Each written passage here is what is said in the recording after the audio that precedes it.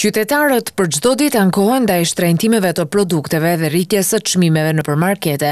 Gjatë fundjavës, sipas Cenometar.mk, është vërejtur ngritje e ashpër e çmimeve të vajit për gatim me 20 deri në 25 denar, sheqerit 5 deri në 8 denar, miellit 6 deri në 9 denar, qumështit 6 deri në 9 denar, Orizit pesë deri në shtatë denarë e të ngjashme. Vaji i gatimit njëzet deri njëzet e pesë denarë, sheqeri pesë deri tetë denarë, mielli gjashtë deri nëntë denarë, qumështi gjashtë deri nëntë denarë, orizi pesë deri shtatë denarë, fasulja pesë deri dhjetë denarë, bira pesë deri dhjetë denarë. Gjithashtu sipas portalit Cenometar pikë MK, rritje çmimesh janë vërejtur edhe tek shumë produkte tjera jo themelore.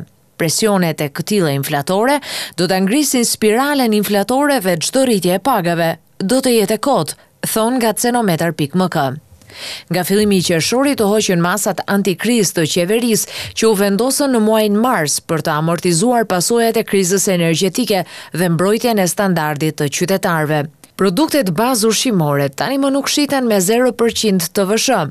ndërsa është kthyer në tetëmbëdhjetë për qind TVSH-ja edhe për karburantet. Çmimi i benzinës për herë të parë u rrit mbi njëqind denarë.